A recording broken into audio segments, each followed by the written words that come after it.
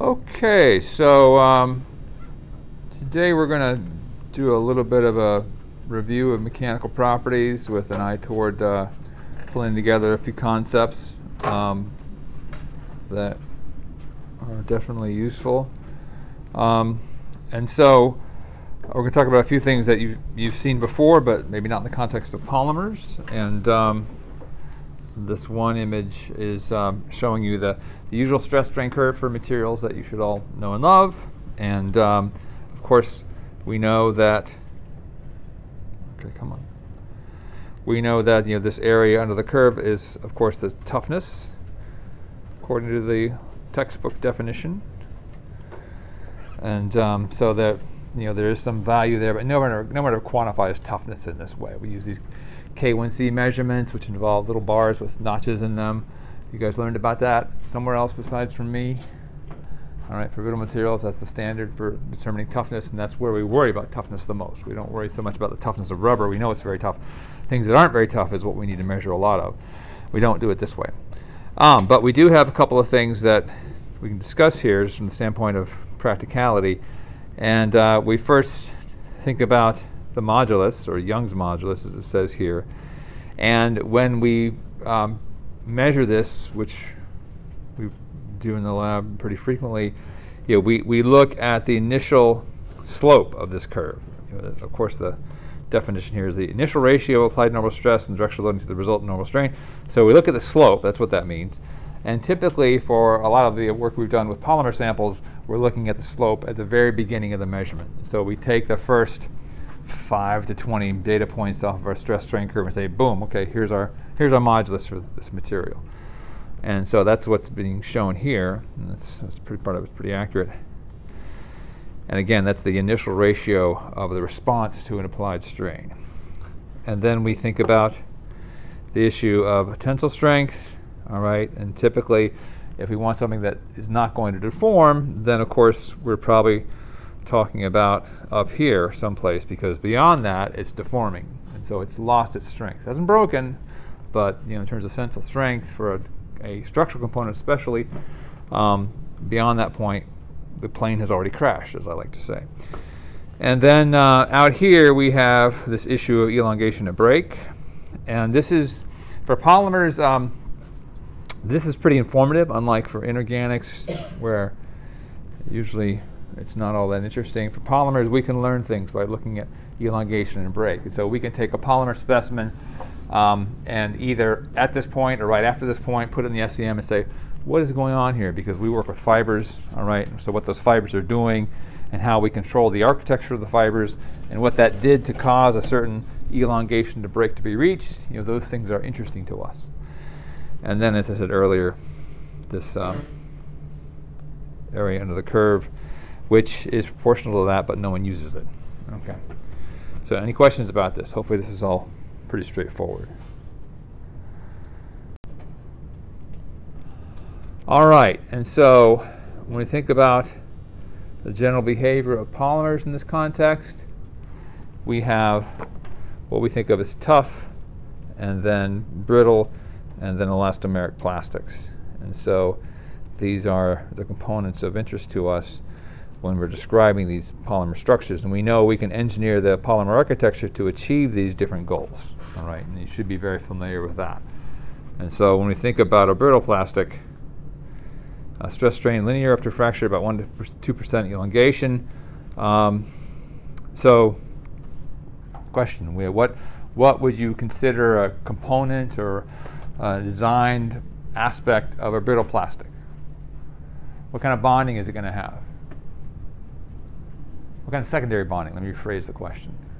Very, um, very crystalline bonding? Well, sure that's, that's not the type of secondary bonding. Uh, that's, that's structure, that's microstructure, yes. Hydrogen? Hydrogen bonding, okay. So you're likely to see a brittle plastic that is composed of hydrogen bonding.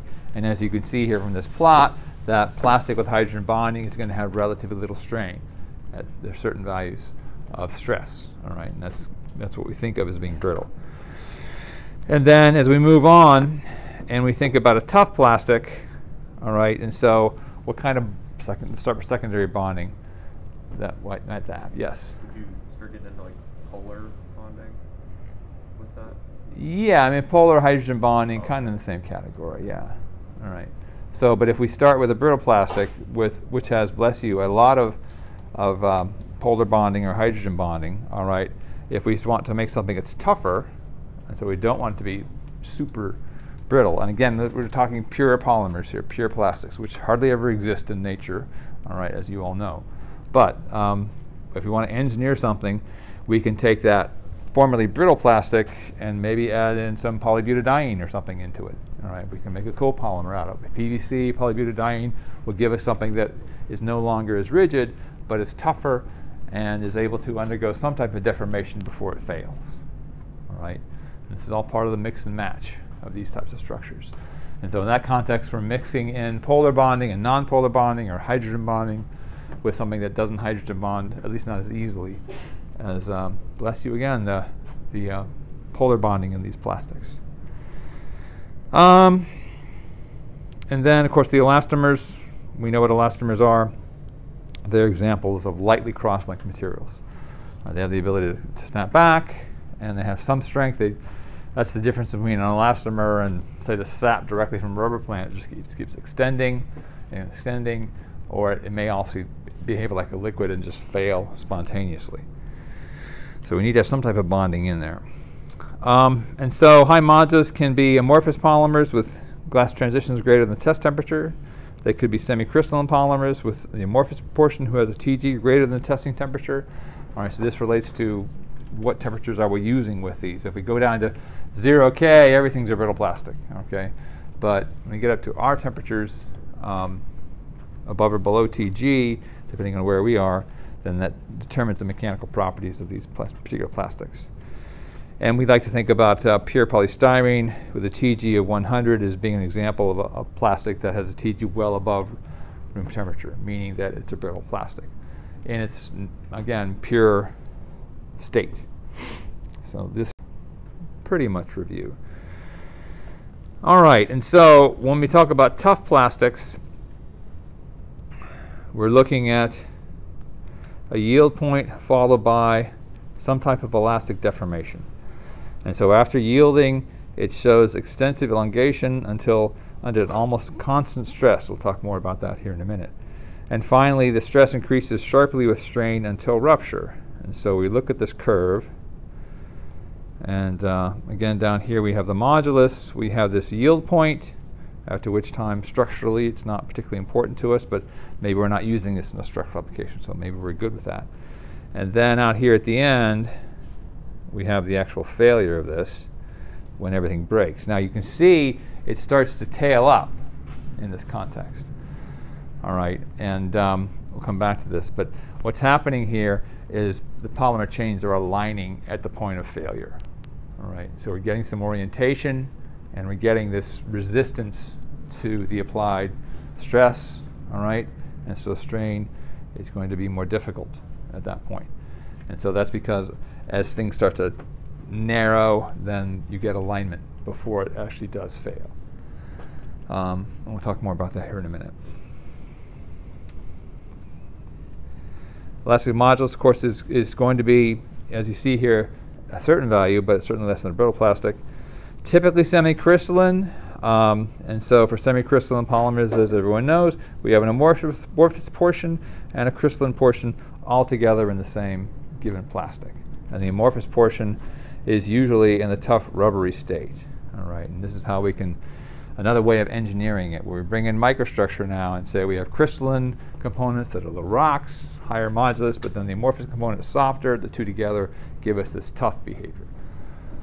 So, and again, toughness can be measured with that area, but again, no one does it that way. So that should all be pretty clear. And uh, then we get into these different regions of this process. So we have this this terminology called cold drawing, and again, it's um, one of those things that's a hangover from working with metallurgy. And um, it's not that there's any dislocations present in the system. We talk about cold drawing in metals. That's a very specific thing involving a lot of dislocations. As is um, as this other term down here, strain hardening. Uh, both of those, um, classically speaking, involve dislocations acting together in concert in metals, but none of those are present here in these plastics. And so um, we have those, again, those four behaviors, elastic in this area, the yield, which is there, and then we have the strain softening, which is the backside of that yield point, uh, where it goes back down, all right? So this region there that I'm going to multicolor, come on, this region is a strain softening, so it yields at the top point and it softens, all right, and becomes more easily deformed. That's what strain softening refers to in this context. And then the process of cold drawing is, let's see, out here.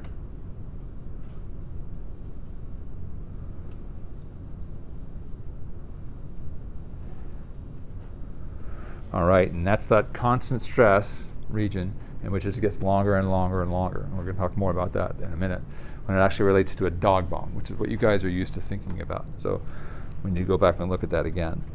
And then at the very end of this, the strain hardening process is up here. Now, again, strain hardening in a metal is what we normally think about.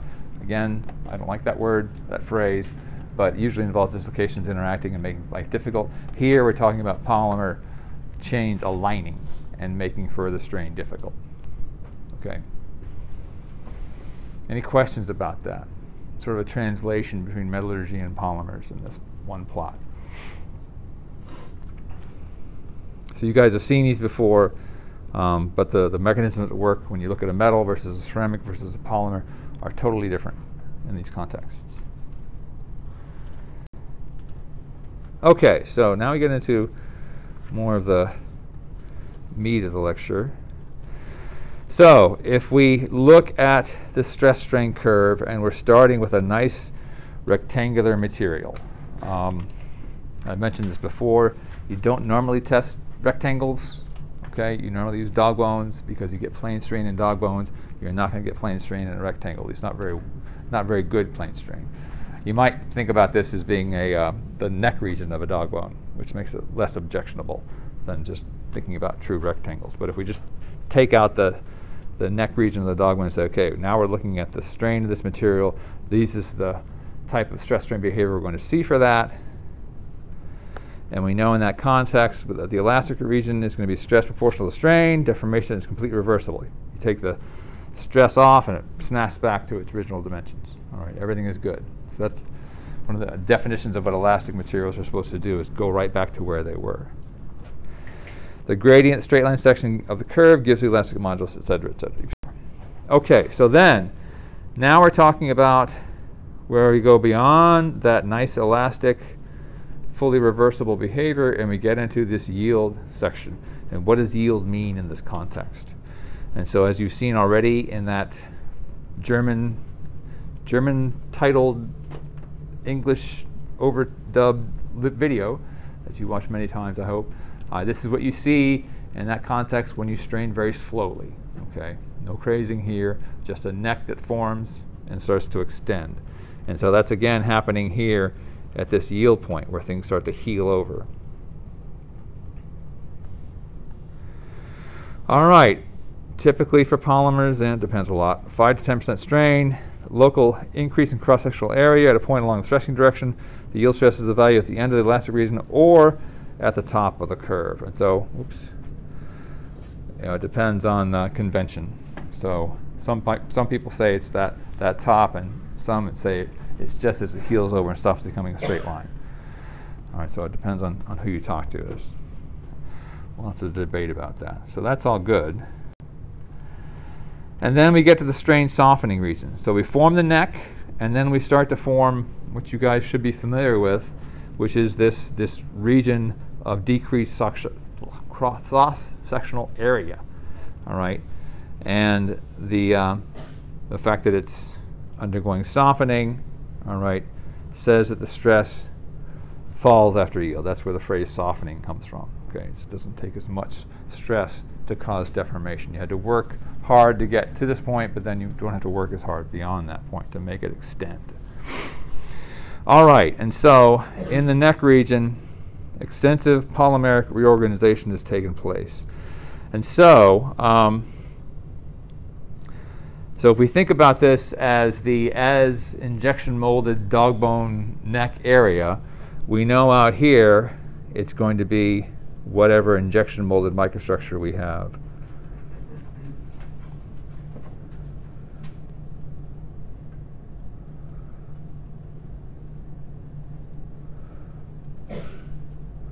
And so assuming we have a semi-crystalline plastic, which all crystalline plastics are semi-crystalline, uh, what might that look like? In the you know, cross-polar microscopy, what will we see? Is that semi-crystalline plastic? Or?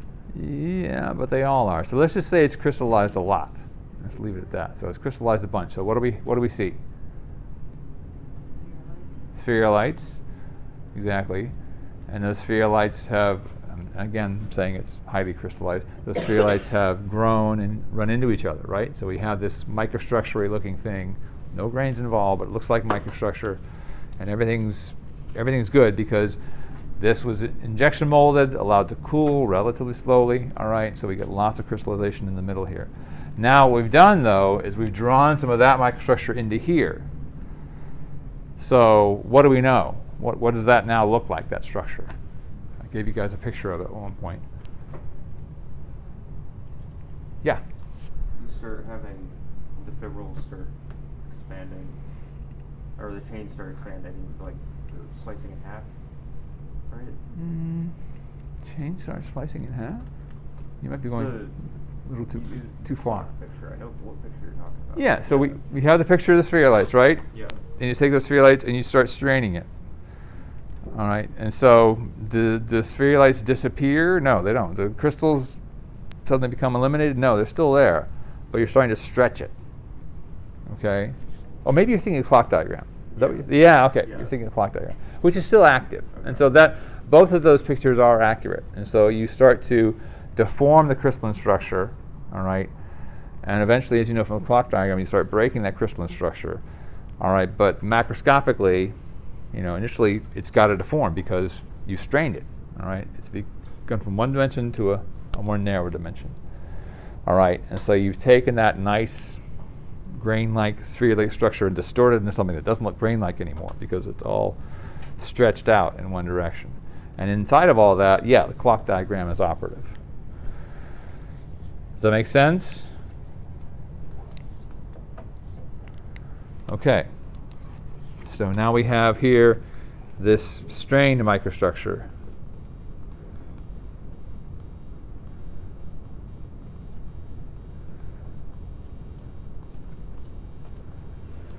And uh, you know, again, think of the clock diagram.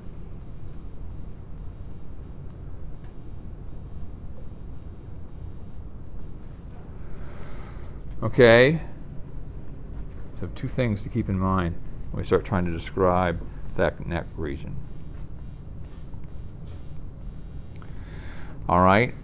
And so, as it says here, crystallites are, are broken up, or I think deformed is maybe a better word, and form anamorphous structure. Now, that doesn't mean crystallinity goes away, but you get more amorphous content as you start to melt those crystals and pull the polymer chains out of those crystal structures.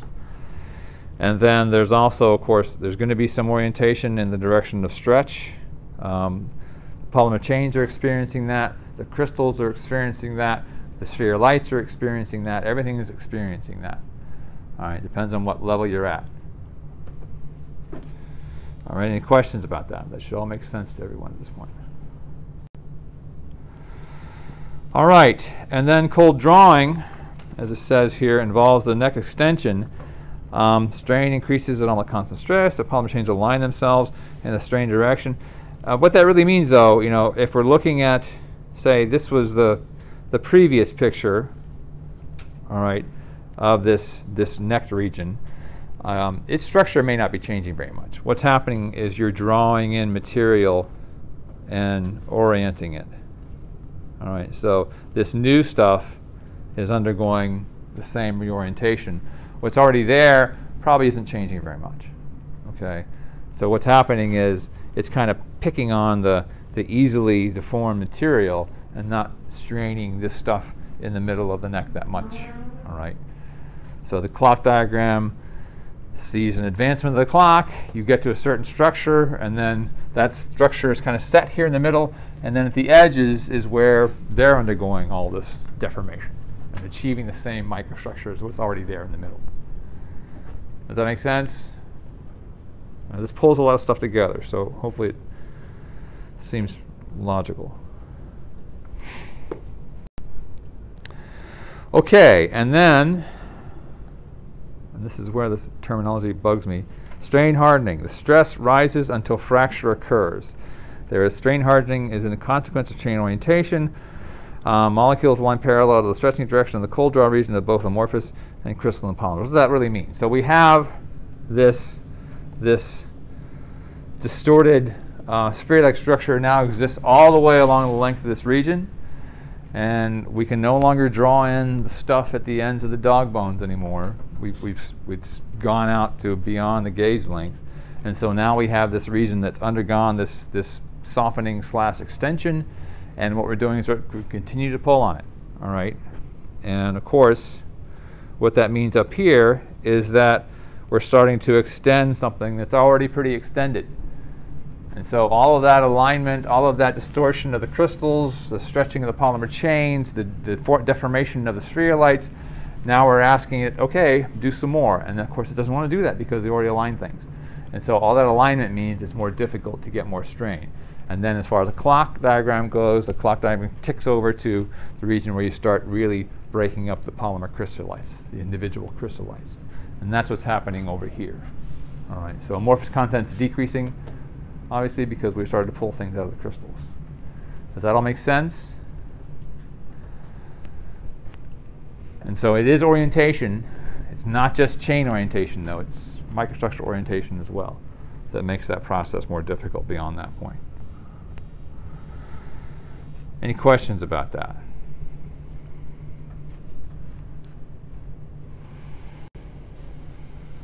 Okay. In contrast, we know elastomers are very different. Um, low elastic modulus, much less than brittle or tough plastics. We get high elongations. You can get several hundred to, you know, several thousand really. Depends on exactly what system you're working with. Percent. You can get huge elongations with some of these things. And so in this context, um, it's an elastomer. Um, typically very amorphous, typically lower molecular weight. All right, chains can slide past each other relatively easily. There's not much in the way of crystallinity. They certainly don't have spherulites. All right, that doesn't even make any sense when you think about an elastomer, spherulites. There may be some small crystals in there, but you can't have extensive crystallinity. Otherwise, it won't behave like this. You do have the advantage of high toughness. So, of course, if you want to make a basketball, all right, elastomers are awesome for that. It could be an amorphous polymer with TG lower than test temperature, whatever it is, in the rubbery state. Rubbers, SBR, styrene butadiene, cis, poly, polycisbutadiene, and polycis isoprene. Um, one special case is a natural rubber, which is amorphous at room temperature and has a glass transition that is less than room temperature. Under tensile load strain can cause polymer chains to pack and form crystalline structures. This is called self-reinforcement. All right, that should make some sense. All right, you guys know enough now about crystal structure and kind of how fungible it is with, with plastics. You know, it can come, it can go. Sometimes it shows up, sometimes it doesn't. Um, but polymer chain alignment is one of those things. You can get this, what is called this entropic cheat of polymer chain alignment. So we know polymers don't like to crystallize.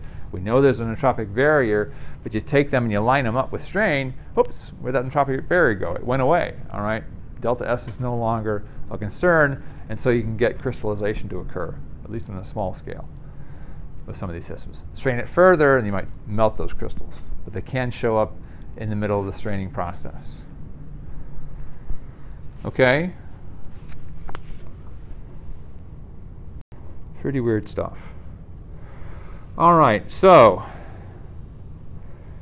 getting down to some of the basics as far as properties, tensile strength of various plastics, polystyrene, PMMA, polyvinyl chloride, uh, polybisphenol carbonate. You have tensile strengths from 50 to 65 megapascal, elongation to break. Uh, for most of these is relatively small, all right? And so with polystyrene, again, pure polystyrene, we know this is bulk. There's no hydrogen bonding in polystyrene, right? Well agreed, okay? Even though there's plenty of hydrogen, there's no hydrogen bonding. Polymethyl methacrylate, there is hydrogen bonding in polymethyl methacrylate. We have oxygen, all right?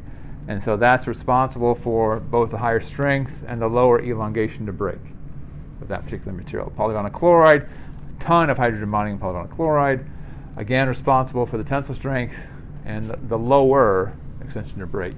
Polybisphenol carbonate has both oxygen and bulk.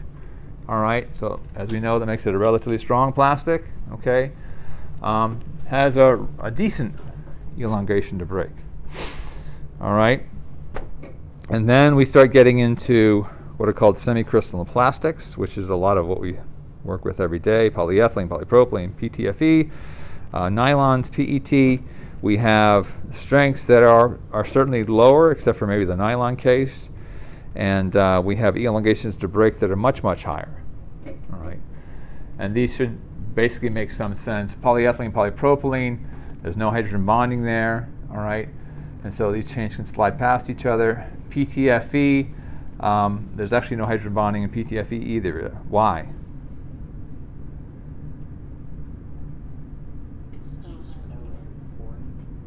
It's what?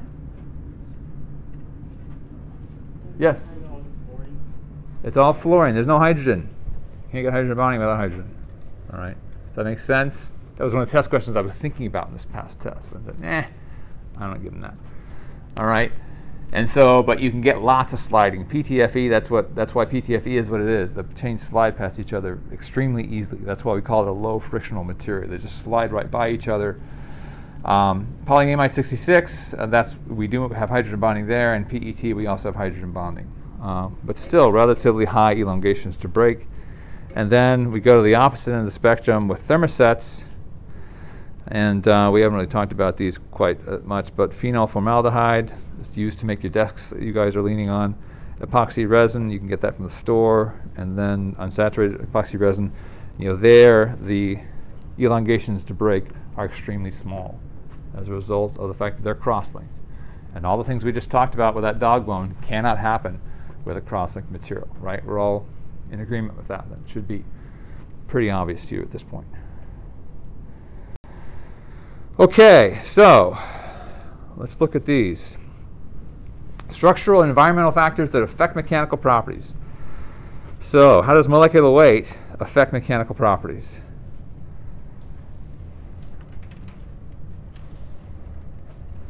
We'll come back to this in a minute.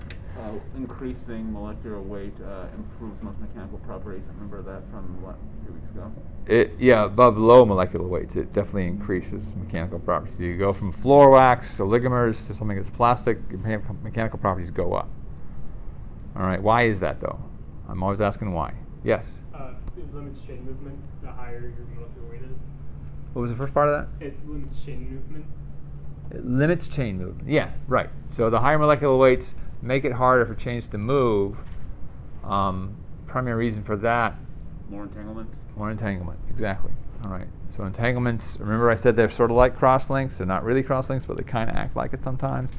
That makes it difficult for chains to move. That's one of the primary reasons we see that big bump. And then branching, it branches on a polymer. Does that make it harder to move or easier to move? All right, much harder to move. All right, so they have to not just slide past each other, but then they're sliding, and then suddenly a branch is there and it bumps into the chain. Sliding stops. All right. Cross-linking, we should be really familiar with that. Crystallinity, uh, we take those polymer chains and we lock them up inside a crystal structure. All right, and so the amorphous stuff out there can move, which is why semi-crystalline plastics are still useful to us. But those chains are still connected to those crystals. So ultimately, those crystals will re- restrain polymer chain movement. And so there's a big interplay there. And then, of course, the fact that we not only just plasticizers, we put tons of stuff into plastic. You guys are now familiar, very familiar with that. We put a lot of things into plastic, and a lot of them have the effect of increasing free volume. More free volume, more chain motion, changes mechanical properties. And then we just talked about the effects of polarity, secondary bonding, hydrogen bonding, that is. And then we've spent a lot of time talking about chain orientation already. Uh, remember the grocery bag, how it's different uh, mechanical properties in one direction versus another. And then, of course, uh, last but certainly not least, the rate of deformation. All right. Very high speeds, you don't give the chains time. Very low speeds, you give them lots of time. And as you saw from that video again, they can become like chewing gum if you go slow enough. Okay. So all those things should make sense to everyone here now. Any questions? All right. And then one thing I definitely want to talk about is um, is fracture in these systems. And so I see this a lot on answers on tests. And so we we talk about polymer chains. We talk about them sliding past each other, and we we know that when we think about materials breaking in general, because we're trained by we talk about ceramics, we talk about metals, uh, we talk about bonds breaking when these things fail. Um, and with polymers, it's a little more complicated because we have secondary bonding and we have primary covalent bonding. And the question people always want to know is which one is breaking at the, at the very end? And the answer is, of course, as with polymers, it always depends. And so, uh, do we break covalent bonds? And so, um, the example I always give is because we're all familiar with it is balloons. So, so you know what balloons are made of? It used to be latex, but now it's not. well, some of them are still latex. Yeah. So they still use they they use rubber, like uh, rubber plant rubber, all right, and they mold it, and then they do what they call vulcanization, which is just light cross-linking. Okay. So we, we blow up the balloon, all right, and then we blow it up enough, and we pop it with a pin, all right. So you're taking that cross-link structure and you're asking it to change very rapidly. All right, it goes from being this big thing to being just pieces on the floor. So in that context, rapid change, high strain rate, cross-link structure, you are breaking covalent bonds. All right, take that same balloon and put it on a load frame and strain it at uh, one millimeter per year. All right, there's going to be a ton of polymer sliding past each other. In the very end, there's probably going to be some covalent bonds breaking, but I mean, if you take that and replace it with polyethylene with no covalent bonds, you will have no covalent bonds breaking at the end. The polymer chains, as is shown here, can just slide past one another, and eventually they slide to the point where the material is no longer connected to itself. All right, they just slide right by each other without any covalent bonds breaking. And so, when you think about polymer fracture, it's in that spectrum. You know, things go fast, then you might actually break covalent bonds. If things go slowly, the only thing you're breaking is secondary bond. And eventually it fails so much they just slide away, away from each other. Yes? So, you see this difference in, like, say, like a fracture surface of like, Yeah. like, broke? Okay. Oh, sure, yeah. So uh, we looked at lots of SEMs of uh, polymer samples, and if you strain slowly enough, you know, it's initially it's a, a nice dog bone, and next and next and next, and uh, in the SEM you just see two cones pointing at each other in the very end. Everything just slides past everything else, and you're not breaking any covalent bonds. It just keeps sliding, and so it deforms like a liquid at the very end. Any other questions? All right, so keep that in mind when you're tempted to write about bonds breaking on the test. All right, this, these are the spectrum of things that can happen. Related chain interaction, strong in chain interaction, less relative chain motion, uh, more cross-linking, less relative chain motion, um, higher molecular weights, which means more entanglement, means less relative chain motion. Breaking covalent bonds needs higher force than chain-chain motion. That's what it boils down to. So if you give it time, chain-chain motion will always win. If you don't give it time, or it's cross-linked, then you're going to have to probably end up breaking some covalent bonds. Okay. And so this is something that I think we saw this already, right? Tensile strength increases with an increase in molecular weight or due to the increased chain-chain interactions. And this is just showing you this uh, number average molecular weight is 10 to the sixth 0.5, 1, and this is 0.1. We see heal, things heal over, and of course, that healing over process is due to entanglement.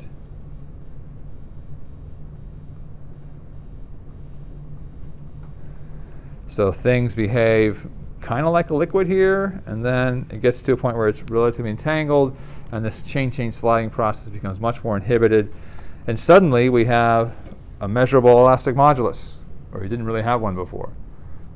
All right, so it stops behaving like a liquid and starts behaving like a solid due to entanglement. All right, and then of course tensile strength increases with branching due to lower chain packing density and decreased chain interaction. Linear versus branch polyethylene is the one we always like to talk about. And then effects of cross-linking, you know, based on what we just talked about, you should be able to rationalize how very different the deformation of these three different states would be. All right, so this is capable of sliding out to infinity. These two are not. All right. This one, the higher cross-link density, is going to be a really brittle material. All right. This one here in the middle is going to be more brittle than that, but um, probably less brittle than the higher cross-link density. Okay. So just think about that elastic portion of the curve when you look at those two samples. What is the relative TG of these polymers?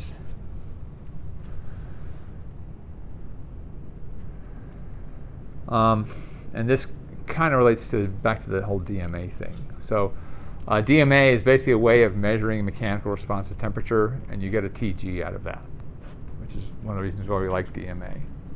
It's a little more obvious when you had the glass transition. Are you asking for exact numbers or like a trend here? Just a trend. Um, linear would have lower, I believe, than low crosslink would have The lowest lowest? TG, yes. And then um, you have to be careful. So first off, you know, if I take these two plastics and um, assuming they're the same polymer chain structure, and I put them in the DTA or the DSC, I am likely to get the same TG when I measure these things. And that the reason why that's likely is because these crosslinks are rare and few and far between. And so there's lots of unhindered chain out here that can behave just like the linear stuff. All right. This is again especially true for elastomers. So maybe like draw a less than or equal to sign or something like that? Yeah, you could. Yeah.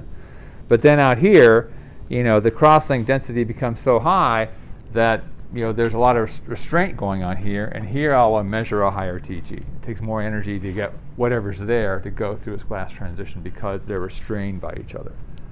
All right. Now that's the beauty of DMA. DMA is you get a different number in the DMA for every one of these measurements. Because DMA is much more sensitive. Oh, so DMA, dynamic mechanical analysis, all right, and that involves this this torsional treatment of the plastic. So it's it's almost like a viscosity measurement as a function of temperature. You you cause it to to tort one way or the other. All right, and unsurprisingly, if TG is greater than test temperature, the polymer is in the glassy state. All right, and as you should know, sometimes that means it's literally glassy. You drop it on the floor, break glassy. Other times it just means it has a higher modulus. You drop it on the floor, it bounces. It's not really very glassy, just a higher modulus. Okay, and then as we increase the cross-link density, then of course that modulus is going to go up. Okay, if TG is less than the testing temperature, the polymer is in the rubbery state. As we increase the cross-link density, um, even if the TG is, is that low, then we see this progressive increase as a function of stress and strain. Increased cross-link density increases tensile strength, no, no surprise there. If cross-link density is too high, the polymer loses, not losses, elasticity, and it becomes a brittle plastic. Um, now, I guess it's it, there's a little bit of opinion here. Too high. What is? I mean, too high depends on what it is you're doing with it. If you're trying to make a, a structural part for an airplane, hey, you know, we want it to get higher. We want it to be able to bear load. All right, but there's the the, the payment is in the what happens to the properties um, in the in the transverse direction. So again, I, I told you guys about the plane example where they have these these um, F-35s that are made with these fantastic polymer co- composites made from things like polyimide, um, and they drop a wrench on it. All right, and because the wrench hits the polyimide, it fractures the polyimide matrix, and the guy starts flying around at Mach 5, and he sees black fuzz in his wing. All right, now that black fuzz is a polyimide or whatever it is flying out and leaving the, the fibers behind. And that's because it's not that composites didn't do its job. It does a great job in the direction of the wing. It's just the, the wrench hit it in the wrong direction. All right, and so it caused fracture of that really high strength matrix uh, because that really high strength matrix is also very brittle. So you hit it with a wrench or you hit it with a bullet, they have to replace that wing. All right, so it's you know th- this too brittle, um, too soft is in the eye of the beholder. We know that TG increases the cross-link density. Uh, again, TG can become greater than testing temperature, and we think of that as a thermoset that is now a, rigid, a brittle, rigid, glassy material. All right, so it should make sense in terms of why cross-linking increases tensile strength. Fracture, uh, when it does occur, all right, requires crosslinks to break. This increases the net tensile strength. Increased crosslink density requires more crosslinks to break. And so, you know, all this chain slippage stuff, if you start putting crosslinks in there, then a lot of that becomes impossible, because the presence of crosslinks are going to be there and restrains that process. And so you can have this process of taking a, a um, thermoset matrix and causing it to break, meaning that you know this thing is fractured along a line next to what used to be a component of itself. All right. And it should make sense, and this is kind of a yin and yang thing. Cross-linking decreases permanent deformation. Uh, permanent deformation is kind of a big deal with plastics because it tells us things about the structure. If we take our polymer sample and we strain it, all right, and what happens is you take all that, that strain off, and what's left behind is a certain amount of permanent deformation, a difference in the length of that material. And if it's highly cross-linked, this is going to drop down to zero. It's going to behave like a brittle solid. Go straight up straight down. Strain it enough, eventually it breaks, but the permanent deformation is always going to be zero with a highly cross-linked material. So permanent deformation can occur when chain slippage is allowed. Cross-linking eliminates this or decreases it. In many engineering applications, permanent deformation is not desired. One of the best ways to minimize that is to cross-link the polymer, which is what we do with rubbers in many cases. All right, you can't just take the rubber tree, get the sap, form it in a tire, and drive around on the road. We have to cross-link the heck out of that with sulfur, as all our good friends Goodyear did way back when. All right, and this increases the tensile strength and decreases the permanent deformation more or less. Are you guys familiar with the hot weather effect with cars? Um, if you park a car in the middle of July out on the street and you wait about a week, maybe less, and you start to drive the car, there's a little feeling like you just drove over a hill, a very small hill.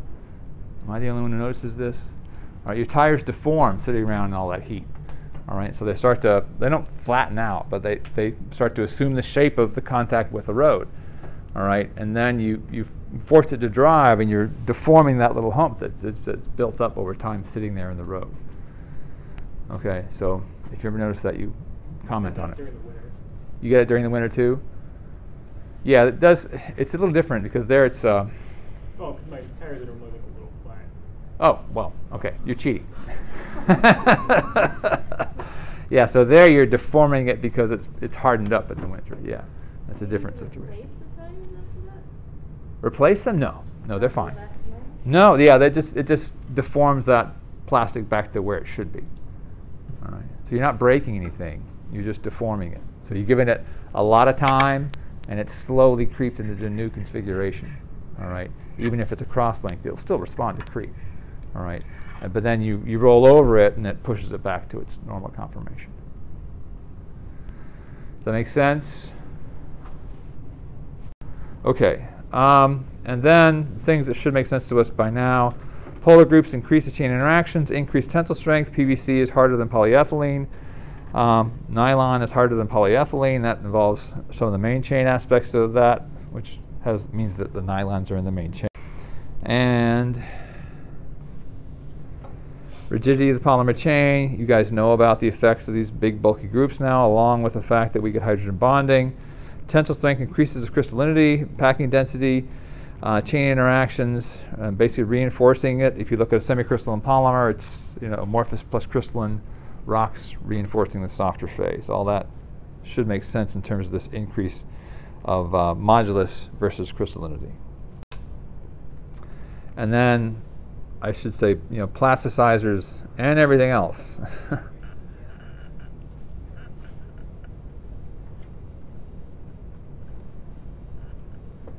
so we have plasticizers, we have flame retardants, we have lubricants, we have all kinds of things in plastics. Um, and they all behave pretty much the same way. Low mass additives spread the chains apart, increase free volume, act as sort of a molecular lubricant to mediate chain-chain pole interactions, usually decreasing it. And the example we've talked about already is uh, bis 2 ethyl hexyl phthalate to neat PVC can lower the blend's TG.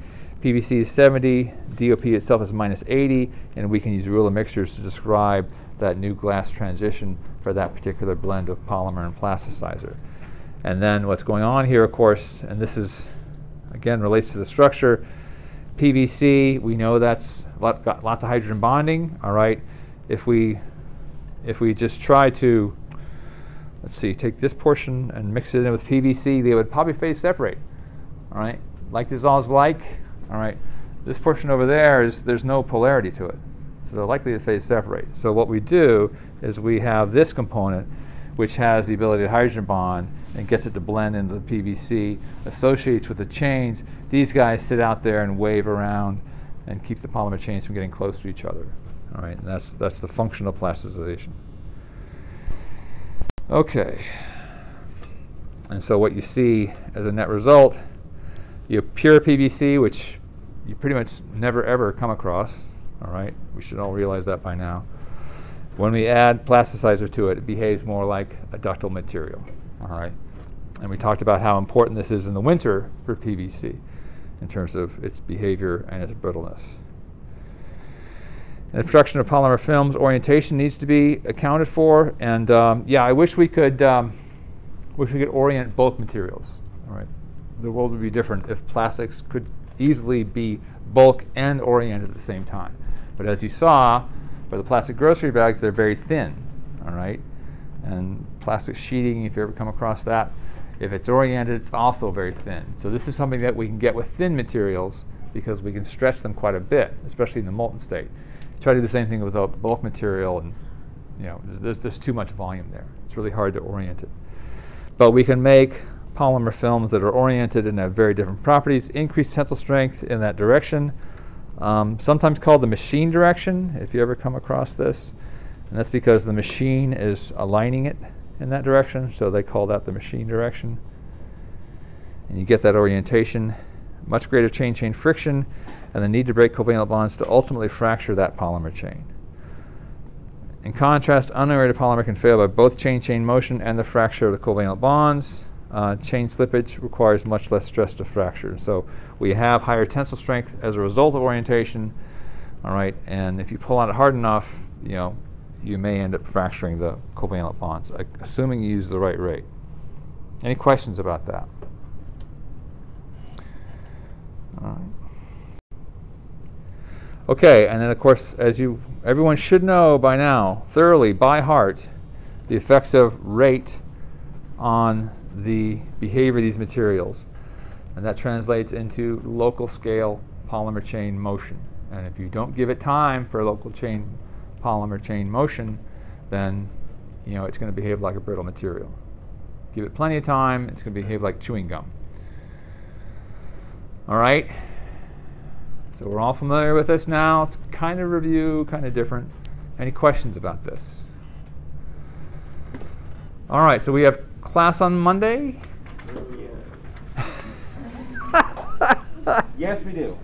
Yes. Not on Wednesday though. Not on Wednesday.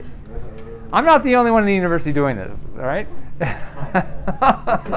were asking me. One of my classes actually Okay. has math class. Yeah, but if everyone jumped off the bridge, would you too? That's a good point. Yeah, just it's an post- awfully good point. just record a lecture, post it. That's what he does anyway. I do that. Don't show I know, but it makes me feel like I should come to class. when you like are here teaching.